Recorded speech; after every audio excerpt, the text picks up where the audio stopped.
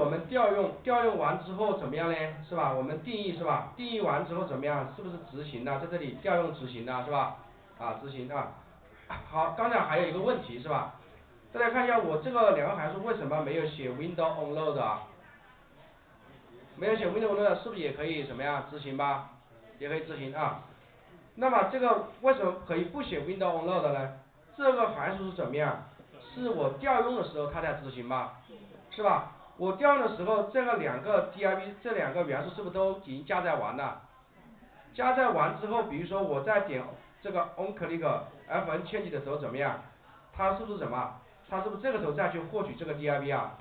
这个时候这个 div 应该已经加载完了吧？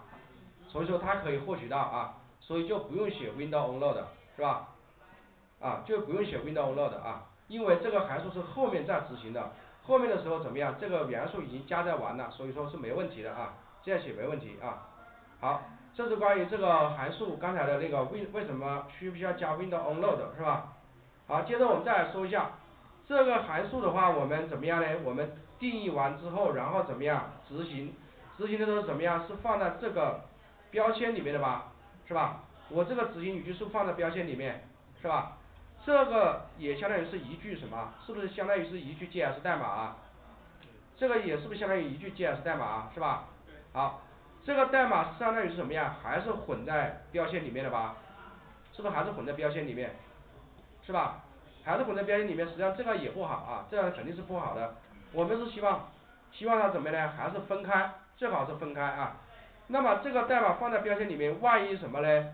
万一什么前端维护人员一不小心把这个括号给它去掉了，是不是就没？是不是这个 G S 是不是执行不了了？是不是就出问题了是吧？一不小心把这个引号给去掉了啊，又出问题了啊，出问题了。而且这个代码和标签混在一起怎么样？还是觉得乱吗？我们最好是把它分开啊，还是把它分开，不要这么写啊，不要这么调用啊。最好是把它分开，全部分开最好啊。那么这个时候怎么分开嘞啊？那么我们说这个东西是不是叫行间事件呢？行间事件啊，行间事件。那么接下来我们要讲的是什么呢？就是提取行间事件啊，把这个东西什么提取出去啊，不要写在这里，还是写在代码里面啊，统一的写在代码里面啊，这个叫提取行间事件啊。如果说提取行间事件我们怎么做呢啊？怎么做呢啊？好，我可以把这个再另存一下吧，把它 save as 一下，比如说零六吧。零六的话，那么就是提取行间事件啊，好，这个是提取啊，提取行间事件啊，好，保存一下啊，好，保存一下之后，那么这个时候要要怎么做嘞是吧？啊，比如说这个函数我先不要了啊，好，我就是要让这个函数什么？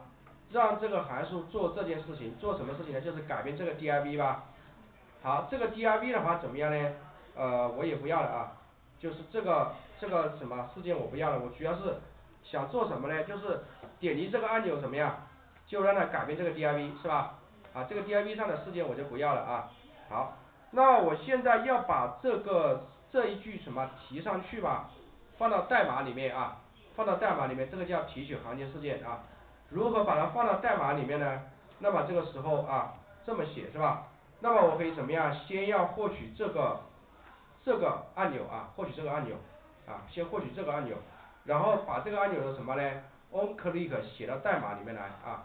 好，我要先获取这个按钮吧。先获取这个按钮是不是怎么获取啊？一样的吧，是吧？先挖一个什么呢？o 什么呢？什么 btn 是吧？假如它是按钮吧，好，获取它是吧？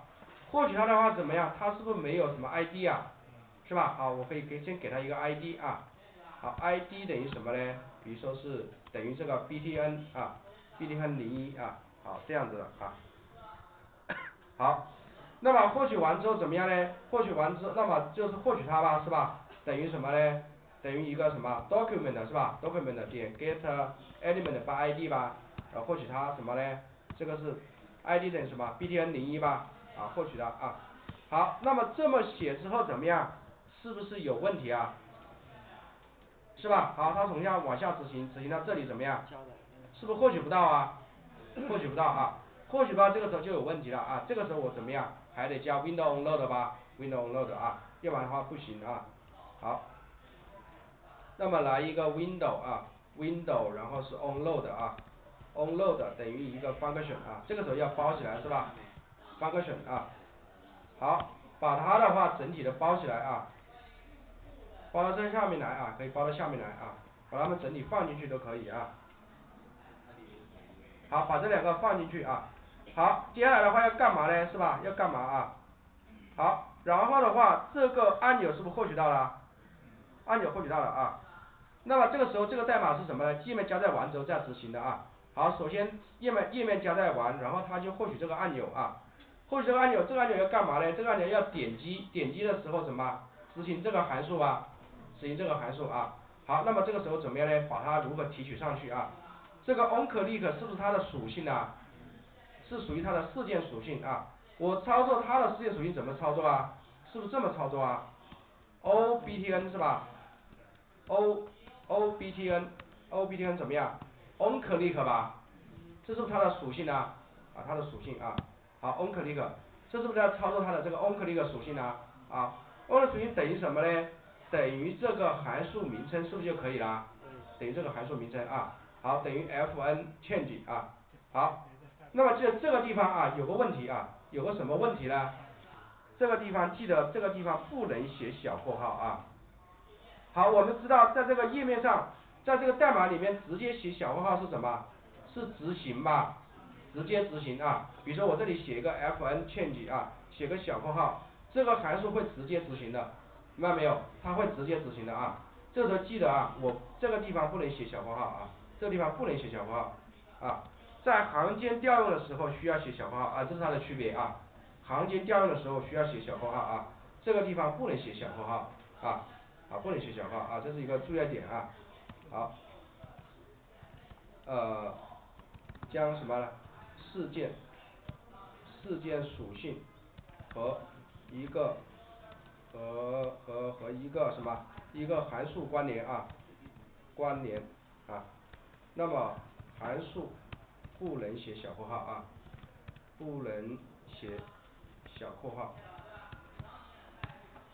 那么写了写了会什么呢？会直接执行啊，会马上执行啊，马上执行。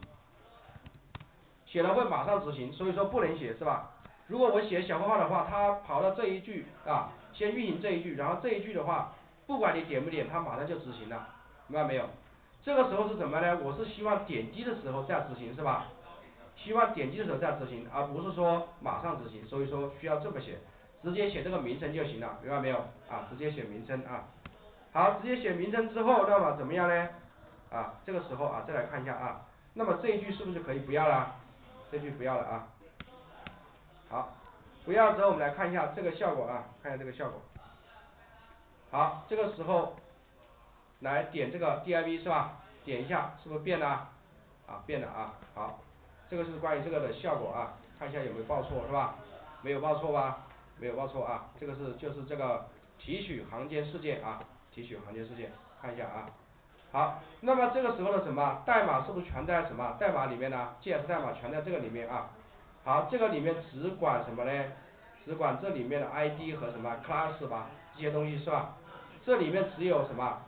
只有 HTML 里面的属性，没有 JS 代码，也没有 CSS 代码吧，是吧？这就是分开的啊，分开写啊。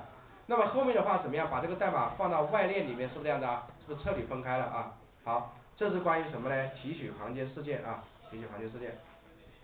好。